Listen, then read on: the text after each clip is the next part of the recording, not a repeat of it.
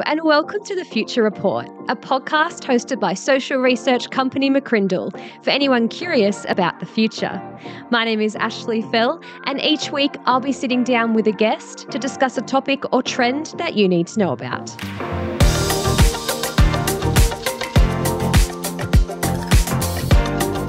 Can you remember a time in your life when someone showed you an act of kindness? How about the last time you showed kindness to someone?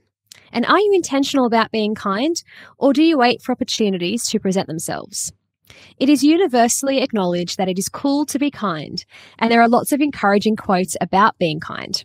From the ancient Greek philosopher Aesop, who said no act of kindness is ever wasted, to Mother Teresa, who said kind words can be short and easy to speak, but their echoes are truly endless. So, have you ever thought about why kindness is so important and how you can be more kind? Well, we've got some fascinating research to talk about today, uh, all about kindness and to share with you. So, in today's episode, we're going to be discussing what the research says about how kind we actually are, why kindness is so important, and what acts of kindness we want to see more of in our lives. And joining me today to discuss this topic is my brilliant colleague and our research lead at McCrindle, Steph Razey. Steph, welcome to the Future Report podcast. Thanks so much, Ash. I'm so excited to be here. I am so excited to have you on, and I've been really honestly looking forward to this episode for ages, ever since we conceptualized what the first season of the podcast was going to look like, what topics we were going to talk about. But before we delve into the topic of kindness today, I think it is important, since it's your debut on the podcast, uh, for our listeners to get to know you a little bit. So let's start with what generation do you belong to, Steph? Yeah, well, I'm a proud member of Gen Z, and I'm very excited, especially to be the first Gen Z member on the podcast. That's true. That's true. You are. I haven't actually um, thought about that, but yes, you're one of our amazing Gen Z team. So uh, you're at the older end of this generation, um, and there a lot of them are also still at school. But obviously, you're not still at school. You've been um, a very valued member of McCrindle team for a number of years, and are amazing at our at your research role and our research lead. And as we've talked about already on the podcast before, there are a number of stereotypes held about Generation Z, which is true of even generations past. There were, you know, stereotypes held about the baby boomers when they were uh, your age or when they were in their um, teens and 20s, sort of thing. But what do you think, Steph, is one strength of people in your generation? Yeah, well, I think interestingly, on those stereotypes and things like that, I think our generation can sometimes get a bit of a bad rap for being too reliant on technology. But I actually think that the ways that we're using and engaging with technology can often be for the better.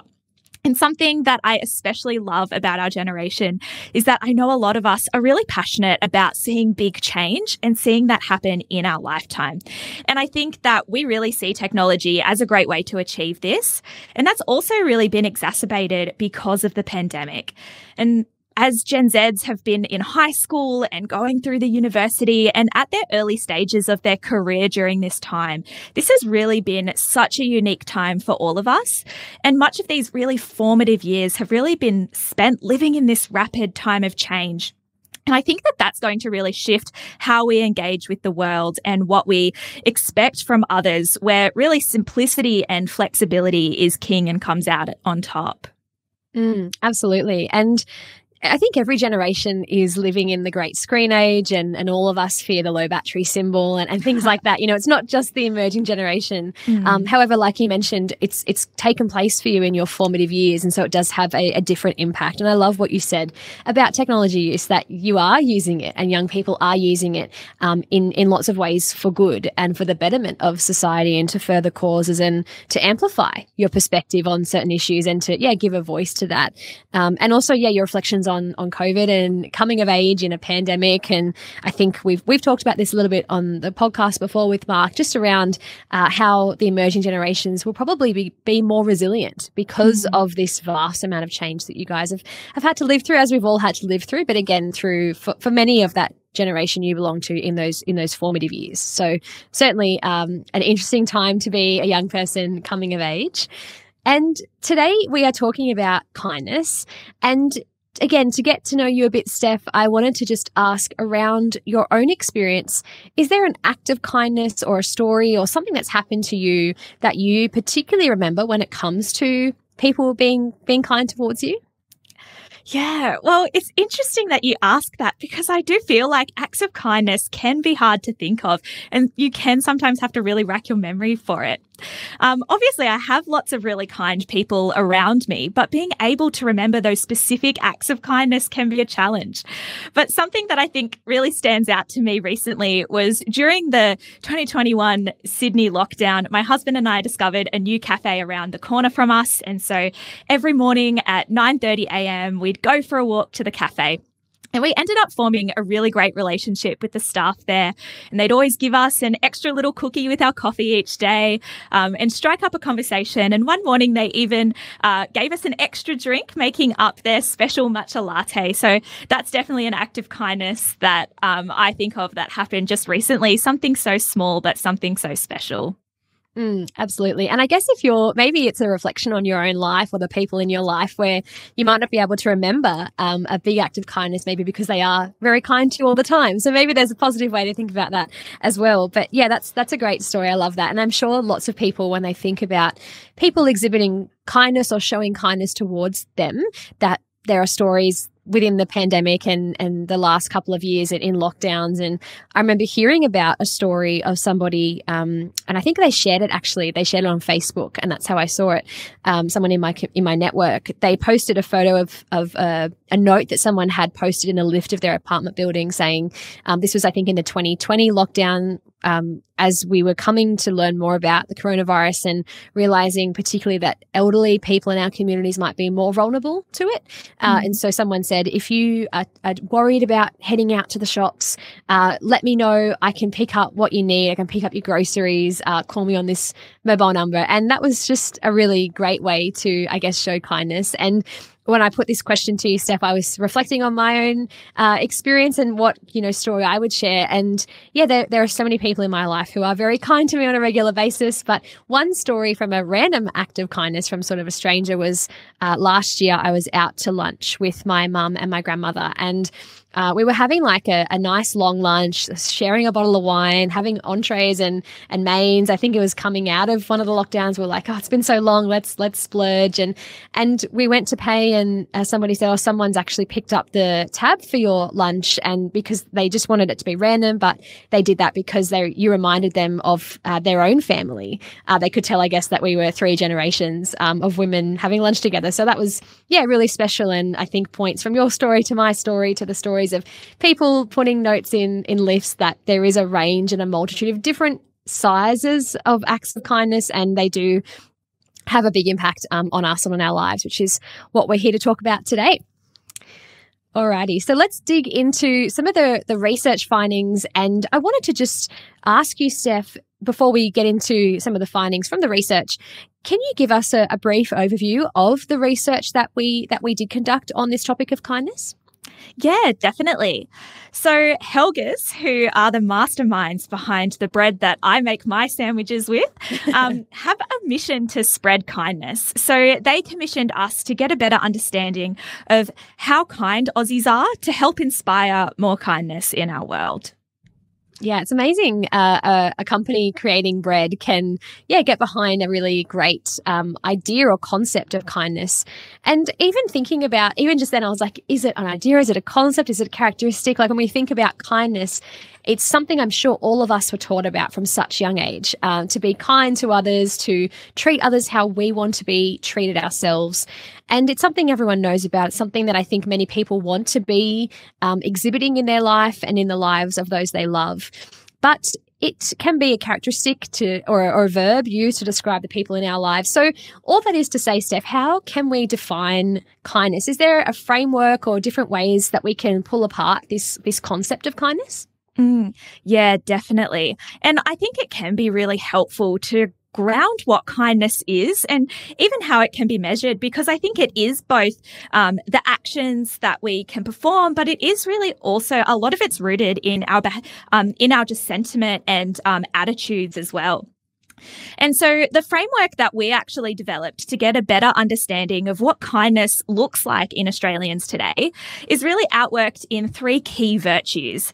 And these are empathy, altruism, and reflection.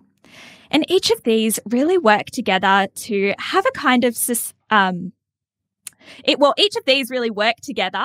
And to have a kind society, you can't have one of these virtues without the other. And we believe that empathy is really about the sense of connection that one feels to others and how this can move someone to be kind or to do something kind. And this is really about if you're thinking about the needs of others, if you're in tune with and are sensing how your actions can impact others. But also showing compassion to others is also important in having that empathetic kindness. And then we looked at altruism, which explores how much a person is willing to give and hand over to others without expecting anything in return which is quite important in kindness because while we mm. can show kindness in hopes to have that favor returned, actually quite a beautiful part of kindness is being able to show it without having a greater motive behind it. And altruism really boils down to an element of trust because when being kind, you have to really trust that what you share or give out into the world is going to be received well and not taken advantage of. And then finally, we have reflection, which is a really interesting one because it's about how much we pause to consider our thoughts or our actions and how much we're willing to be patient and gentle and tolerant of others it really challenges us to think about the self control or discipline we might have to make sure we're choosing to be kind, sometimes over some of our more selfish desires, which really we all experience as humans. Mm, wow, that's really helpful. Those three areas empathy, altruism, and reflection. And I guess as I was reflecting uh, on that answer myself, um, one thing I was thinking of was even I think, as you mentioned, you know, that the part of altruism where we're, we're kind to others, maybe if we're intentionally um, trying to do something for someone that exhibits kindness or shows kindness, it is like you like you shared, without expecting anything in return. But I feel like as well, uh, sometimes kindness can be how you respond to maybe someone who's unkind to you, or mm-hmm. how if someone's rude in the shopping center, or someone cuts you off in the car park, or however that might be. Even that idea of having empathy and, and trying to put yourself in their shoe, someone else's shoes, and say, okay, well, I don't know what context context this person is living. I don't know what's going on in their life. I don't know what day they've just come from, um, or whatever might be going on for them. And so you can even show kindness in how you respond to people. Um, so yeah, that I found that quite helpful in terms of those different areas to think about uh, in terms of kindness. Yeah, and definitely. It's it's so it's amazing and it's, it's really helpful. And Steph, you know, this research, uh, there's some really interesting stats and figures. Uh, What's your perspective on how kind Australians are? This research particularly was of Australians. Um, any insights there to share? Yeah. So when we break it down, we actually find that on average, Australians perform 16 acts of kindness every week, which I was really encouraged to hear. And perhaps unsurprisingly, Aussies are twice as likely to perform acts of kindness towards people they know compared to people they don't know. Um, but something that I actually found most interesting in our research is that Australians are only saying they are receiving six um, acts of kindness in a week. So, with Aussies performing 16 acts, this leaves us with 10 acts of kindness that really makes us question where are these missing acts of kindness going? Do they just disappear into an abyss? Well, actually, we think they might be getting lost in translation. I think we're perhaps more conscious of the acts that we do and what we're giving away. But when it comes to remembering each of the little things we receive, we can find it harder to recall. I mean, even at the start, I had mentioned I even struggled to think of a specific time from the top of my head where I've received kindness. But then the effort that I went to to cook my family dinner on the weekend, I haven't forgotten that at all. I remember the hours I slaved over the kitchen, but that brought me a lot of joy. And so that's really um, front of mind for me. Um, but I think within this, it's actually also really important to note that being kind is something that is actually really innate and natural for us as human beings. And we really have it written in our social fabric. And so much so that I think we can easily let an act of kindness go unnoticed, like holding the lift door open for someone, or if someone lets us um, in front of them in traffic, or those really small things I think sometimes are just such a part of the way we interact and deal with one another that it's so easily can slip our minds of recalling that as an act of kindness that's been done to us.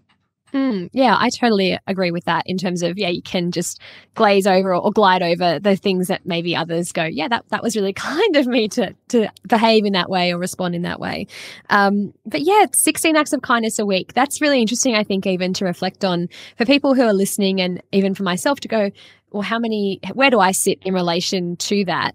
Um, and even, again, it comes back to that idea of reflection, I think that you mentioned earlier, where if we, if we do reflect, if we write in journals or those sorts of things that, again, like you just shared, then we might just not remember or realize the acts that have been done to us, but it's kind of exhibiting that idea of gratitude, I guess, and, and reflecting going, wow, yeah, people have been kind to me. And had I not reflected on that, I might not have realized, uh, what, what they were doing or, or how they were doing that. But I also loved what you were sharing then around it. It is very natural and it is part of our social fabric. fabric. Uh, and even in Australia, I think our our sense of mateship and wanting to help others and our history as a, a as the land down under, that sort of pretty prone to um, environmental disasters. We saw that with the bushfires at the beginning of 2020 and uh, the floods that happened earlier this year um, in, in New South Wales and, and different things like that, where we, we help our neighbour out and, and we are kind, especially to those who might be going through something um, a bit more difficult in their life. Mm, definitely. Okay, so what are, are some of the acts that people are performing? What are some of the most common acts of kindness that people are recognizing? Yeah. So, Australians are most likely to be kind with their words or with kind gestures. So Australians really show their chivalrous side, being most likely to hold a door or a lift open for someone. But we also really love sharing positivity, as Aussies are also likely to be giving others a compliment or checking in on someone, asking if they're okay. And even kind acts to strangers, like saying hi to someone you're walking past on the street, is a regular occurrence. Mm. And there are, you know, amazing campaigns, even like Are You OK Day, and things that I guess encourage us to do that, to use our words, not just our actions, to, yeah, such as a small thing like asking someone if they're okay or asking how their week is going or um, how, how they are going in life can have a really big impact beyond my, what we might be able to measure. Um, and I guess, especially in the light of the last couple of years where many of us have been more isolated and maybe not engaging in those uh, community activities where we need interaction. And yeah, like you mentioned at the beginning, Steph, even just your interactions with your uh, local barista. I remember during lockdowns, you know, my barista was the person, one of the only people apart from my husband that I was sort of seeing in person and, and talking to uh, off, off a screen uh, when we were working from home for those months. So yeah, it's it's certainly I think things that we small things we can do can have a really big impact. Yeah, and that's right. What do you think, Steph, about acts of kindness that um, we want more of? Is there any insights or research findings about the the acts of kindness that we want to see more of? Yeah, that's a great question, Ash. Well, the acts of kindness that we want to see more of positively are in line with many of the acts of kindness that we're already performing.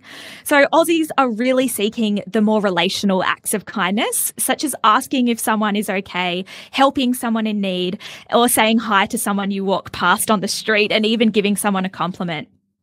And actually, on that as well, I always love getting to share our research findings with those in my life. And my husband is the kind of person who always has to say good morning or good afternoon to everyone when he's out for a walk. So he was particularly pleased to hear when he was validated by our research um, in his friendly neighborhood kindness after finding out that Aussies really want more of people saying hi to them as they um, walk past them on the street. So I think that that's um, always interesting to see how the research research findings even play out in our own lives. So yeah, and I actually identify with that as well because when I when you were sharing about yeah saying hi on the street to others, um, saying hi to random people that you might be passing by. You know, if I'm out for a run or for a walk and I see someone, I feel like I tend to maybe overthink. I'm like, oh, I got to make eye contact first, or like, I don't want them to think I'm like too intense, or oh, they're not really looking like they want me to say hi, you know. And it's this research in some ways and these insights are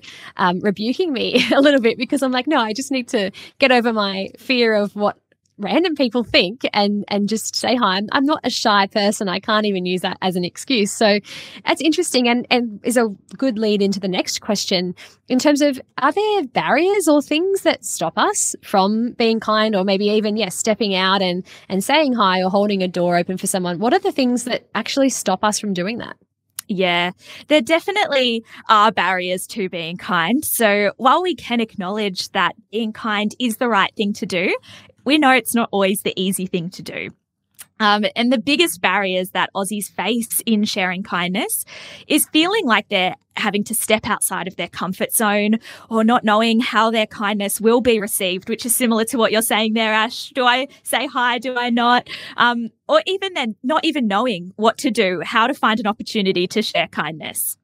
But it is actually really important that we work to overcome these barriers because we saw in our research that on average, Australians who face barriers to being kind perform almost four less acts of kindness every week compared to those who face no barriers to being kind. So when we extrapolate that out, if we were to overcome these barriers of not knowing what to do or being worried how people will react, we might see an additional 2 billion acts of kindness performed across Australia each year. So that's definitely my big encouragement to those listening is to really embrace kindness and think about ways that you can just show that extra little bit of kindness to the people that you encounter this week.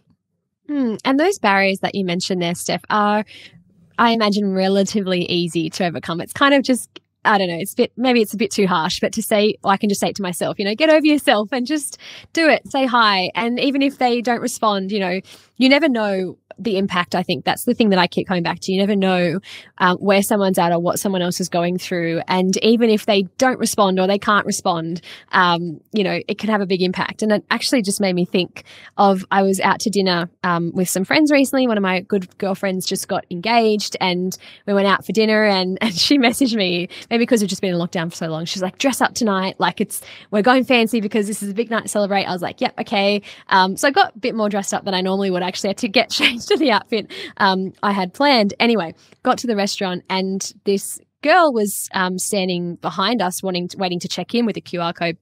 And she kind of, I, she, they were like, "Oh, have you guys checked in?" We're like, "Oh yeah, yeah, just over here." And then she's like, "By the way, you you look you look so lovely tonight. And I was like, oh, that's really nice. But I was kind of a little bit shocked at the time when she said it. Like, I didn't get to respond right away. And in hindsight, I was like, I should have been like, thank you so much. That's so lovely of you. But I was like, oh, thanks. And as I reflected, I was like, maybe I came across as a little bit cold because I was more just in shock because I don't get that very often. And it was really nice to, for her to say that. Um, and yeah, it's one of those things that, you know, I it meant a lot to me, and it was really lovely, very nice to hear someone say that.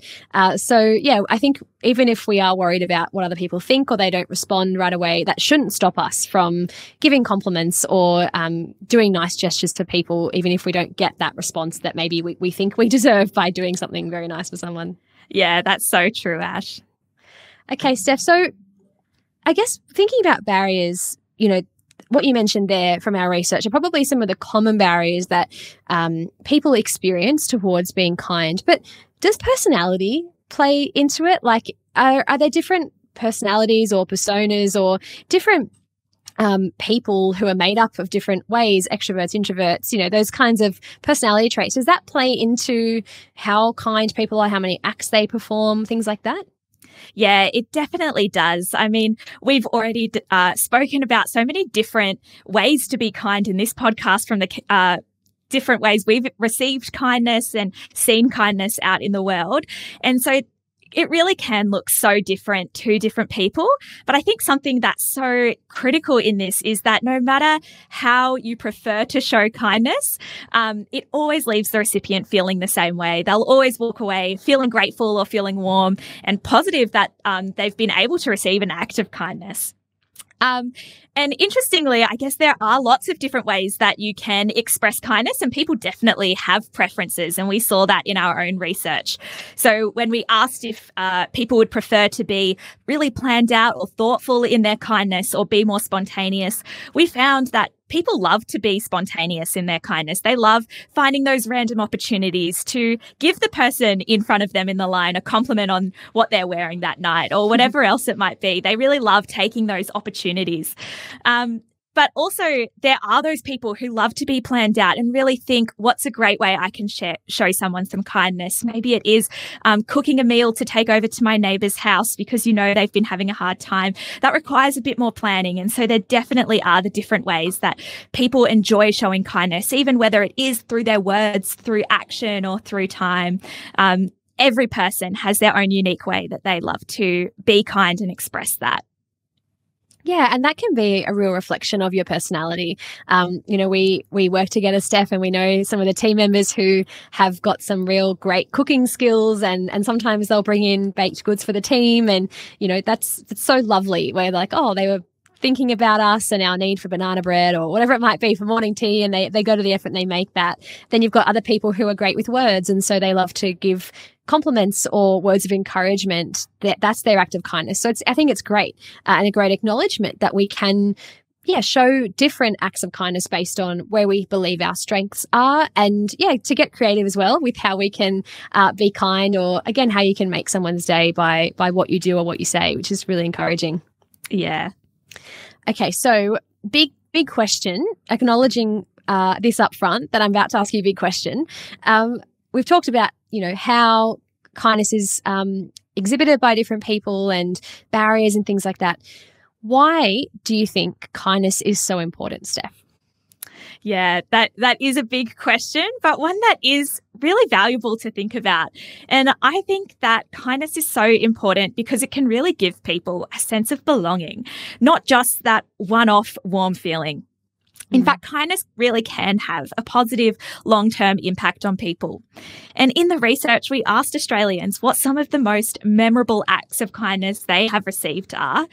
And one of the stories that really stood out to me was from a baby boomer in Queensland who said, In 1952, I was at a fete at about age five.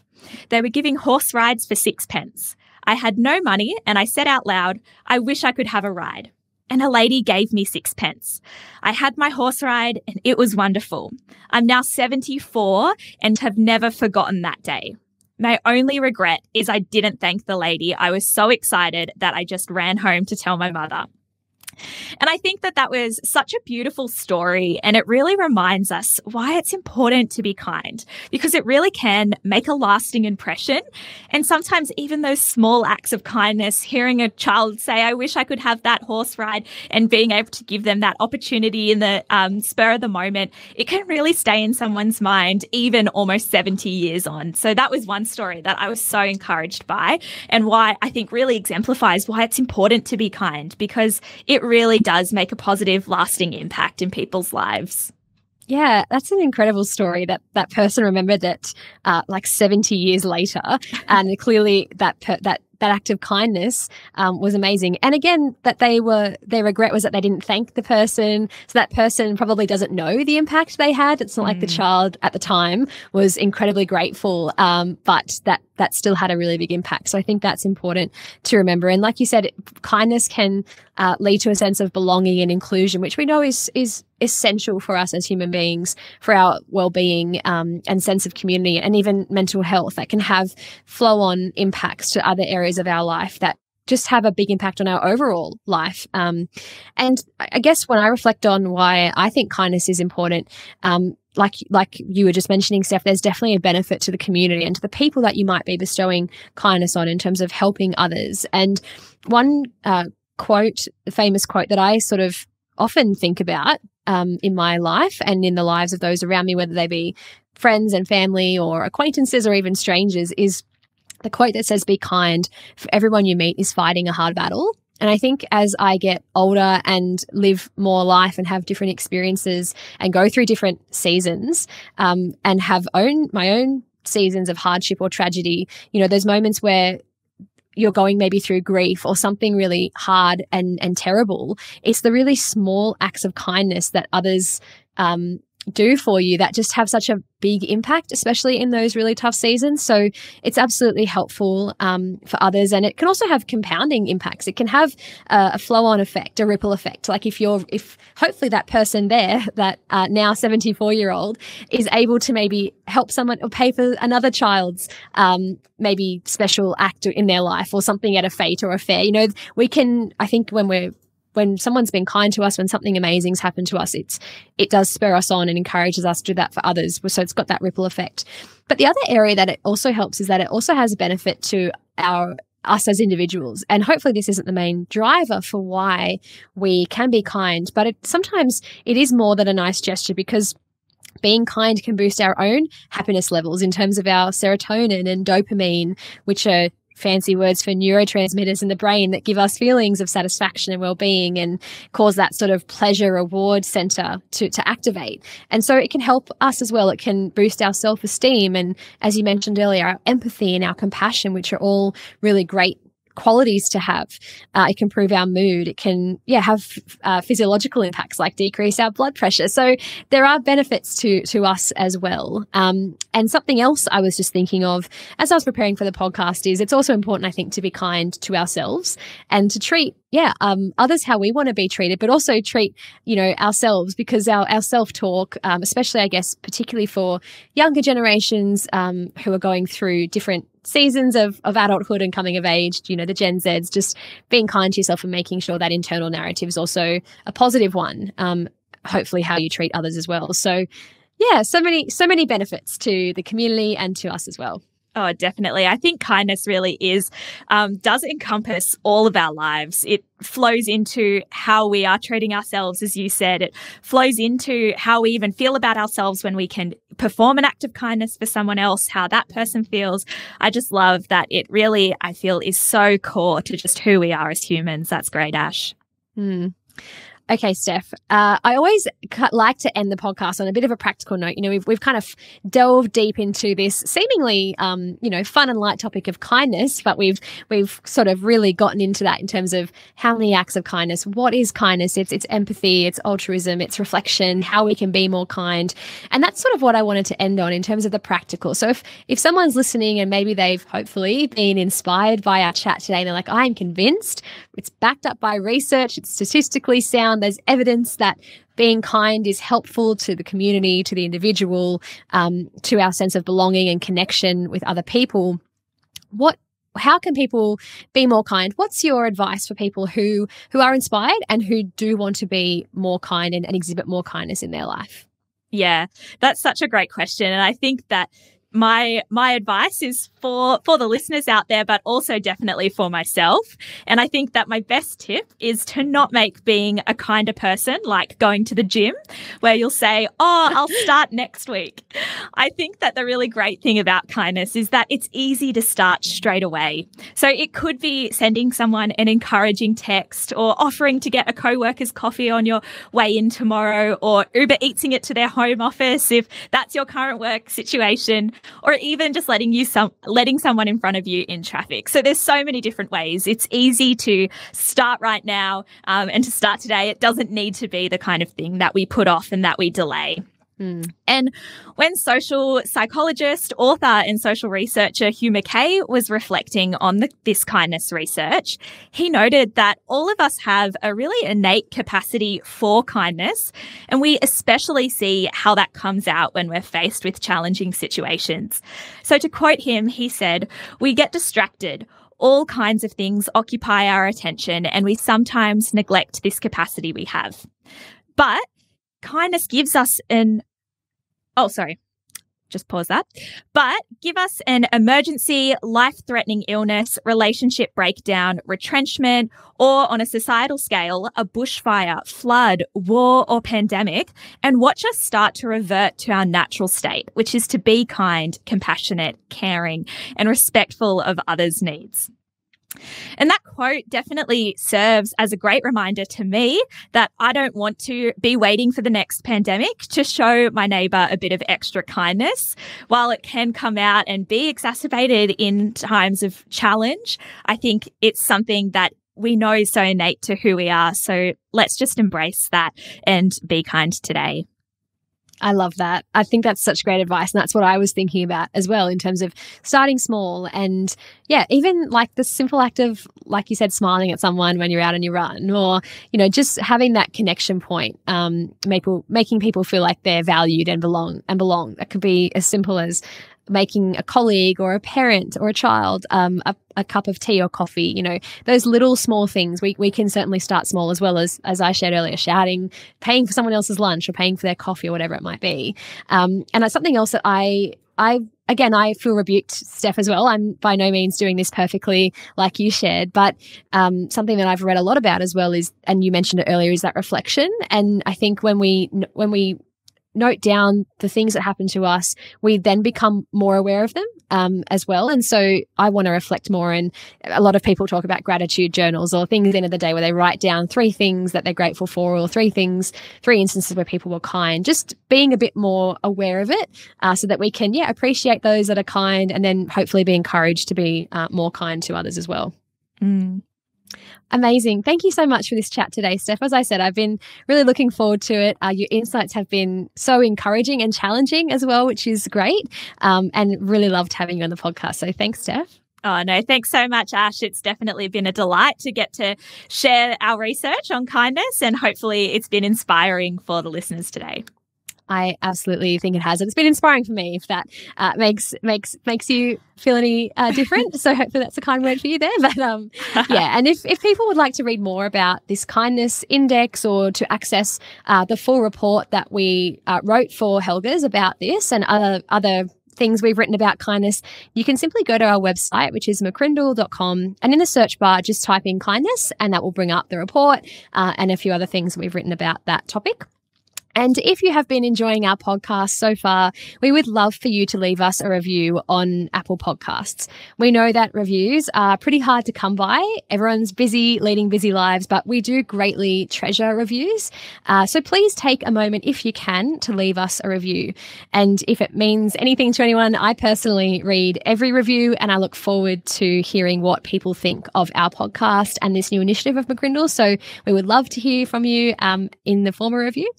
And as always, for more insights, you can subscribe to or follow the Future Report podcast on Spotify or Apple Podcasts. You can also watch the video recording on YouTube or Spotify.